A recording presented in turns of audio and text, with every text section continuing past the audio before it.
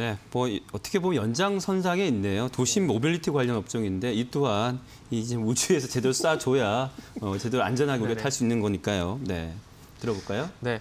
어, 일단 한화 시스템 얘기를 좀 해야 될 것 같은데요. 네. 일단 도심 모빌리티 같은 게 한화뿐만 아니라 현대차 그룹에서 전향적으로 현재 진행을 하고 있는 사업이지 않습니까? 앞으로는 이 어쨌든 달리는 자동차가 아니고 나르는 자동차 이런 네. 부분들을 어, 봐야 될 것 같은데 그 항상 영화에서 봤던 부분들이 정말 실현화가 좀 되는 것 같습니다. 그래서 음. 이런 것들에 좀 관심을 가져야 될 것 같고요. 어쨌든 하나에서 이런 사업을 진행을 하고 있는데 그 아까 제가 그 우리나라의 모 그 그룹 기업이라 그러지 않습니까? 네. 그 회사가 죄송하지만 하나 시스템입니다. 그쵸. 이 하나 시스템이 네. 원웹이라는 회사에 투자를 진행했는데 이 원웹이라는 회사가 내년까지 위성을 648개나 쏜다 그럽니다.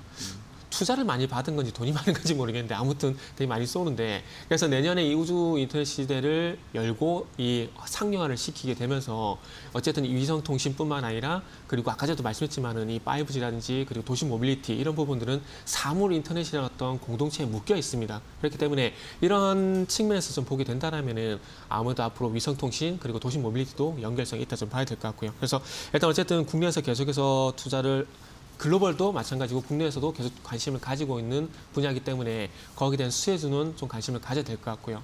어쨌든 그 니콜라 어쨌든 조금은 절반의 성공으로 끝이 났는데 네. 이번에 원의 투자는 좀 성공으로 끝났으면 하는 기원에 한번 선택을 해봤습니다. 음, 하나 시스템 네. 최근에 뭐 상, 주가 상승 흐름은 괜찮은데요. 매매 네네. 전략 간단하게 정리하면서 마무리하시죠. 알겠습니다. 네. 어, 이제 가격 전략을 좀 말씀을 드리면 일단은 그 어, 목표가 같은 경우에 네. 일단 3만 원 정도 말씀을 좀 드릴 수가 있습니다. 네. 상당히 조금 장기적인 관점에서 본다라 좀 말씀을 드릴 수 있을 것 같은데 어찌 보면은 이 올해 끝나는 것이 아니라 내년까지 한번 중장기적인 전략을 가져가 보게 된다라면은 아마 이런 전략이 좀 유효하지 않을까 생각을 좀 하고 있고요. 그리고 손절가는 16,000원입니다. 그리고 매수가는 어, 조금 조정을 한번 기다려 보겠습니다. 18,000원에서 19,000원 매수가 말씀드리고요. 손절가는 16,000원 그리고 목표가는 3만 원 제시하도록 하겠습니다. 네, 하나 시스템 매매 전략까지 말씀해 주셨습니다. 위드금융의 정태근 팀장과 함께했습니다. 오늘 말씀 고맙습니다. 감사합니다.